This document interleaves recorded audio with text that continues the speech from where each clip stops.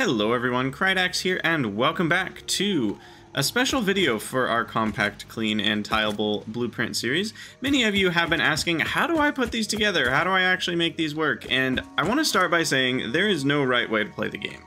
The main idea of my Blueprint series was to give you tools, and you can build whatever base you want to build with those tools. Um, I don't think there is a right or wrong way to use these. However, I think um, some of you are just looking for an example. So we're going to go ahead and start with what would it look like to build a reinforced iron plate uh, kind of factory with this. So I'm just going to kind of show you how I might do it. But again, there's, there's not a right or wrong way to do this. So don't get too concerned with whether your base looks like this or not. And I am going to be using the Mark IV build, but I'm not using enough iron where Mark IV would matter. You could use your Mark III versions just fine. And we're going to go ahead and set these to iron. We could overclock them as well if you had, you know, plenty of power shards. Quick note on power shards, you can production amplify them. So a purple slug is worth 10 power shards and whatnot. So you can get a lot of power shards these days. And remember, we, we connect in on the back left of our blueprints and our outputs on the front right. So if we're going to be making iron ingots here, then we're going to need to connect our iron input to there. And I already have kind of a container full, just, you know, for example purposes here. So you can connect this however you want. You can, you know, use an elevator to get your items up there so that it's already kind of at the right level, you know, uh, whatever you want to do to make it look nice for you. And then I believe this is already connected power. So there you go. And I want to talk about manifolds for a second. Some people, you know, say that manifolds aren't great or whatever. They will fill up. The only cost to using a manifold is a one-time cost of your stack size of whatever your input is times the number of buildings you have. So in this case, it is a one-time cost of 600 iron ore. That iron ore will eventually kind of fill up all the buildings and it'll never get used because they'll keep filling with more iron ore rather than using it. Um, if you ever get input starved, the manifold build actually provides a buffer to help kind of deal with that, but generally that's not going to matter too much. But yeah, it's just a one-time cost of 600 iron, which is what, like a minute of a Mark II miner, you know, at some point in the game? Like, it's really not going to matter. Um, there are very few times where manifolds are going to really cost you something significant or take a really long time to fill up. So I, I wouldn't worry about it if I were you. In most cases, manifolds are great. There are a very few cases where they might not be good to use, but I wouldn't worry about that. And now we're going to get our constructors going, because to get reinforced plates, we're going to need plates and screws. So I personally want to build this next to the smelters so that I can just bring those ingots right over to the input of the constructors. Now, if you had built another version of the smelters blueprint where the output belt ended up on the other side, then you could chain these in a line, right? You could have the smelter's blueprint and then the constructor's blueprint right after it. So depending on which way you directioned your belts, you might end up doing a slightly different build with this. And I like to leave a little bit of space between my my lifts. Um, you could leave even a little bit more space and put a catwalk potentially. So there's a lot of options for, you know, how you want to design things that way. But yeah, we're going to go ahead and build these constructors. I'm building the 8x version without even really considering the numbers. And that's kind of what I did for most of my, my actual base, which we will show you uh, at the end of this video. Because I'd rather have too much than too little. And so I just went ahead and did the 8x's for pretty much everything. Every once in a while, you, I needed two sets of 8x constructors. But for most applications, a single set of 8x constructors, maybe with some power shards, was good enough. And then we'll connect the power here to, to what? Sometimes you gotta get creative. In this case, I think I can just go out to there. Does that work? Uh, no, it clips right through that. You know, you always get clipping. It feels like no matter what I do, it always ends up clipping with something. So I'll actually just put it right here. And then we'll build a power line right there and connect it up and call that a day. So now we've got our constructors set up to make iron plates from our iron ingots. And then I'm also going to want to make rods from iron ingots. So one strategy that I've used is two sets of constructors or, or you know, whichever blueprint you're looking at. It works with assemblers and manufacturers and everything else. I know I haven't done the manufacturer's video yet, but we'll get to that soon. I am gonna feel free to use the jetpack um, just for building this purposes. It's a little easier to see what we're doing, but you know, the nudging really helps. Oh, I've grabbed the assemblers build. The nudging really helps for when you don't have the jetpack. I will say that that made a big difference. Before we had nudging, things were a little more complicated. So I am going to line this up with the other blueprint, but we're going to leave a gap. And the reason I'm going to leave this gap is because this is going to be making the iron rods. And we can't mix the output of plates and rods unless you're doing some sort of sushi build where you have an awesome sink and overflow control and all that. So I'm not doing a sushi build in this example, so we're not to we're not to mix the output belts, but we can reuse the input belt. So this input belt is to be iron ingots, and we can just take the iron ingots that are to come out of this splitter and hook them up to the next build. I guess that's a Mark V belt. Oh boy. Um, and that is going to, in a way, prioritize iron plates over iron rods because most of the most of the iron ingots are going to be split off of these splitters before it goes on to the next build. But if you have, you know, if you know that you're using plates and rods at a rate that's lower than the amount of ingots you have, it's not really going to matter. So it's up to you whether you want to kind of split the ingots in half. If you do, and another example of this is what if you were just using a different resource for that second build? What if that was going to be copper, uh, copper wire over here instead of iron rods? Then what I will sometimes do is I will build a second stack on top of the already stackables I have, and I will take a belt, and I will connect it across, like so, and now you have the iron wire here, and then you can plug that in to your splitter, or iron wire. Uh, you have the copper ingots here, and you may need, sometimes, yeah, things are a little too close to the splitter, so you may need to make another set of stackables, you know, maybe back here, and that's what you connect that belt to, and then you come down into the splitter. So that would be if we were bringing something in like copper. In this case, we're using the same iron ingots, so we'll just leave that belt connected.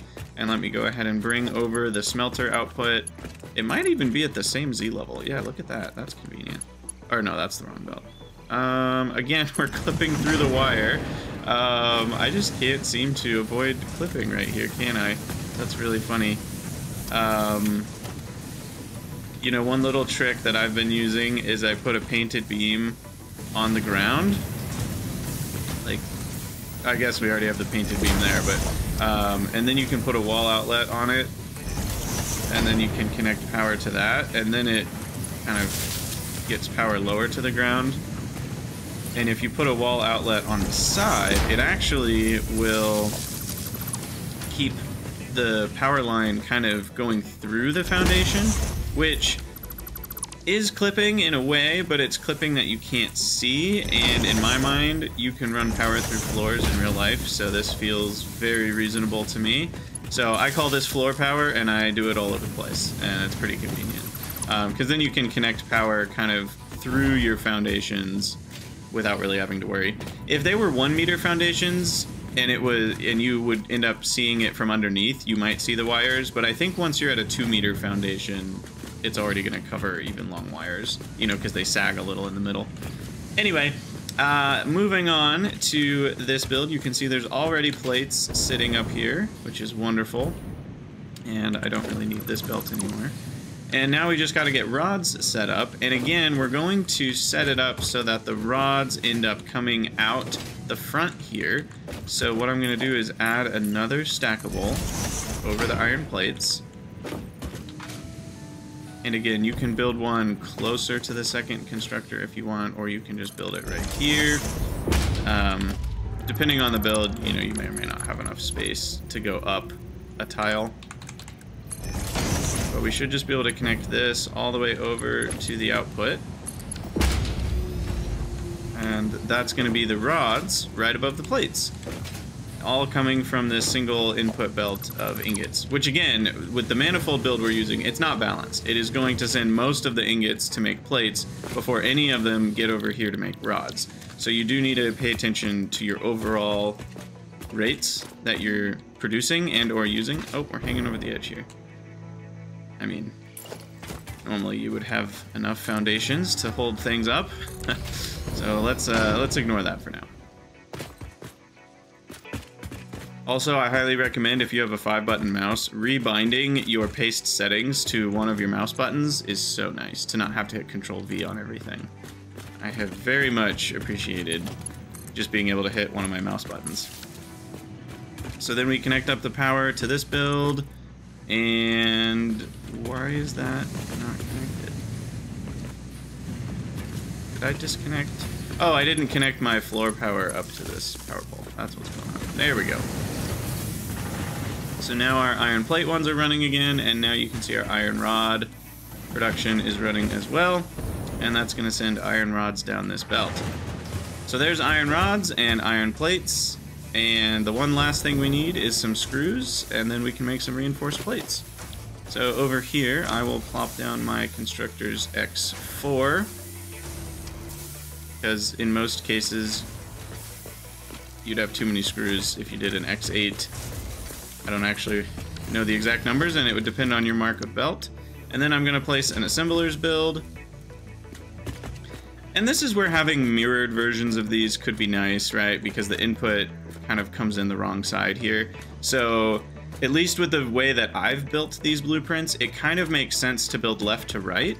Or sorry, right to left. I literally was showing right to left. Because the inputs come in on the right and the outputs go out on the left. So if you're building here and then here and then here, things kind of travel naturally, whereas here the outputs are kind of having to cross over the inputs with every single set of buildings. So it does depend on which direction you're going, and you might want to make your blueprints differently based on that.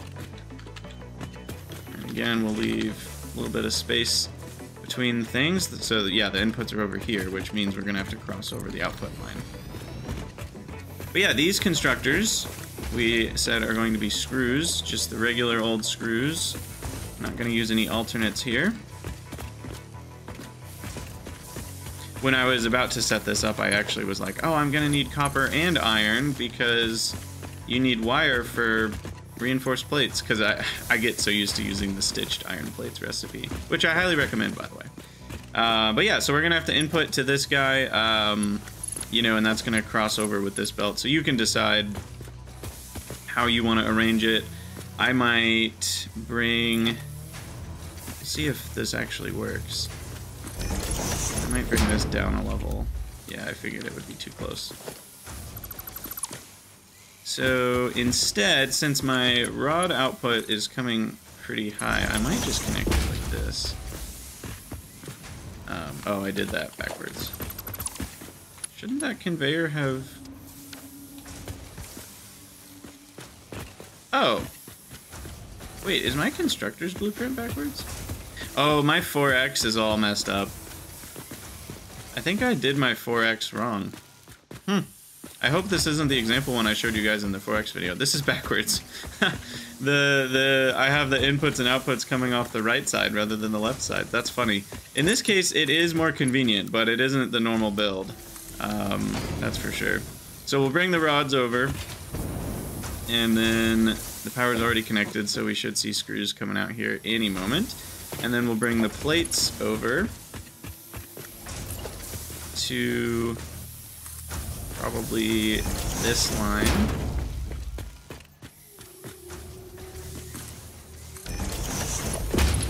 So we'll take the plates here, bring them over to this guy. I do want to leave enough space here for a, a lift, so I might need might need a little bit more space. Again, this is the point at which you play how you want. You know, you guys wanted an example, so I'm showing you an example, but there are so many different ways to do the things I'm doing right now that would, you know, there's nothing wrong with any of them.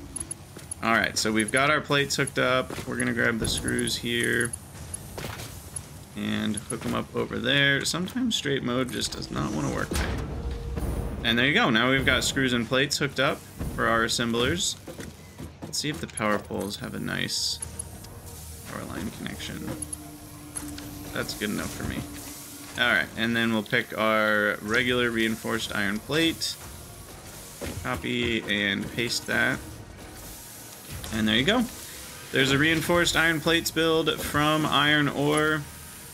Oh, well, I guess the screws are in the way of that, but you could always just connect it directly to this merger here. And now you've got reinforced iron plates. And like I said, this is just an example of what you could do. There is nothing inherently wrong or right about the way I organize this. In fact, there's a lot of things wrong about it, but it certainly works, and it's fairly compact, and I didn't pay any attention to the ratios. Not a single bit.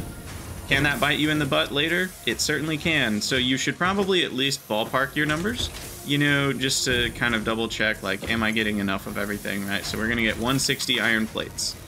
And rods, uh, I don't remember, it's gonna be 120 probably. Yeah, 15 a minute. And then screws, we're gonna be getting 160 a minute. Do we have enough rods to make that many screws? Yes, we have way too many, right? I'm only using 40 rods. So it is worth checking your numbers. I've, I've got three of these, so I'm going to be using 180 screws a minute, which I'm not making 180. So I would need, you know, another set of um, constructors here. Or the iron plates. I'm using only 90 a minute, so I have way too many, right? Because we have uh, 160. And then finally, we would be getting 15 reinforced iron plates a minute. Is that enough? Probably. I think in at least in the stage of the game where you're first making reinforced iron plates, 15 a minute is enough. But at some stage of the game you might want more. But yeah, there you go. That's a basic build. So now I'm going to show you kind of my base and what it's looked like for me to use these blueprints throughout the game. I have been doing a bus-based base, which I do not actually recommend now that I've done it, but I wanted to try it. I've always thought it looks cool to have a bunch of belts uh, all together, and so once I once I got blueprints going, we made this big factory building, and I brought in all the ores that I could on the bus, and then we started processing them. So this is the beginning of the bus, and here is the factory. So I'm gonna switch over to the hover pack here just for demonstration. But you can see that we, we kind of have an area between the bus and the buildings. So this is kind of the no man's land where I don't build any buildings. It's all just space for the belts to spaghetti around and do what they need to do. I have mergers and splitters set up along the bus and I can pull items off the bus, you know, pull items off this side here, pull items off this set right here, pull items off this set also in the middle, so you got to make sure they're not you know, overlapping with each other. It's kind of chaotic, uh, but it's worked out, and you can see we're smelting iron here, and we're bringing caterium, this is a good example, we're bringing caterium above the iron to be smelted at a later line of smelters, and we're bringing back the caterium ingots above the iron ingots. So that's one reason I like the way that I've set these builds up, is you can easily just tower these conveyor poles up and get a lot more inputs and outputs to further machines down the line. So you can see here I left a gap, and then we just plopped another set of smelters for our caterium into caterium ingots. So that's, you know, basically three sets of six smelters, and I believe I've power sharded these by now because I need a lot of iron. But, uh, yeah, and then we've got our copper, same idea. I, I don't have a second thing here because I ended up doing all my quartz processing over here. You can see my, my two sets of eight constructor builds. Um, you can see the quartz is coming in from a ceiling mount because it's going over all this. And so the quartz is going in and being processed into the silica. And then, exactly like I showed you a minute ago, that quartz just carries on to my quartz crystal build. So the quartz crystals inherently have a lower priority than silica because of that. So if I was using all of my silica and I don't even know the numbers. I haven't even looked, but it's possible that these constructors could use all of my quartz. It looks like they can't because 90 times 4 is 360, so I have more than 360. So in this case, it wouldn't really matter because these constructors cannot use all of my quartz, but if they could, they would be using most of my quartz, and I would kind of see my quartz crystal dry up. So those are things you want to consider when you're setting all this up. And you can see here is a line of foundries, and that's to make my steel and the steel is actually being split off to do multiple things. Um, here I've got my limestone making concrete, and it looks like the steel travels somewhere. What am I doing here? Oh yeah, yeah, yeah. I'm using the concrete plus steel ingot to make steel pipe alternate. So that's going on. Way down here I've got quick wire because I had room for it. So I did more ceiling mounts for that. Um, I just built a catwalk back before I had the hover pack. Catwalks are very nice. And yeah, I'm making a lot of wire here. This is pretty much a full belt of wire. And on the first level here, I'm doing iron plates. But the iron plates are not going on the belt because they're pretty much only used in one place for a long time, which is reinforced iron plates. And here you can see I'm doing the same thing where I'm taking a material, bringing it above the other build to go to something further away, which in this case is copper sheets. Which it looks like I may need a power shard that, to be honest. I don't think I'm getting enough copper sheets. Um, so that's something to fix. Here I'm making cable, which is going over to... Th these are the only manufacturers on this floor. I came back and used some extra space I had down here to make crystal oscillators. I hadn't been making those before. The reason I'm making them here is because they need reinforced iron plates, and they're the only thing other than... Uh, where are they? My frames that use reinforced plates. So there you go. There's an example. I hope you've enjoyed kind of this showcase of what you can do with these blueprints that I've designed it, it's been pretty effective. You know, I've, I've overbuilt things pretty easily. When I consider what Satisfactory looked like before Blueprints, doing a project like this would have been insanely difficult. But this has actually been relatively easy to set all these up because you're only hooking up the input and the output and you don't have to do anything else and you're hooking up one power pole and everything actually ends up looking quite nice even though I have a decent amount of spaghetti going on in here because of the straight lines of the blueprints, it all still ends up looking fairly nice. And because there's still straight lines of the materials I'm bringing over the blueprints, you know, that, that tends to look pretty nice.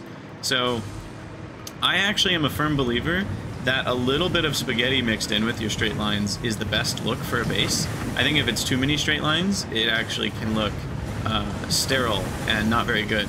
So having a lot of nice straight lines with your blueprints and, you know, lining up the buildings nicely looks good, but then having having a little bit of spaghetti and a little bit of messiness, I think helps to make the factory feel alive. And, you know, they're not just all these straight lines and right angles. Uh, there are some curves and there are some slopes. I think that actually looks really cool. So that's just my preference, though. There's nothing right or wrong about that preference.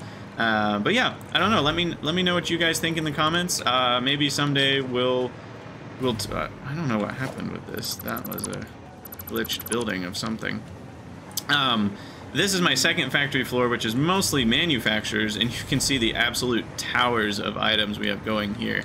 Because, you know, manufacturers use four items. Uh, this is everything we need for our ammo, because we've got coal and sulfur to make black powder and stuff. But yeah, there's refineries up here and a lot of manufacturers. This was kind of my more advanced uh, phase phase three stuff on this floor, but it's all the same idea. There's nothing nothing too fancy up here.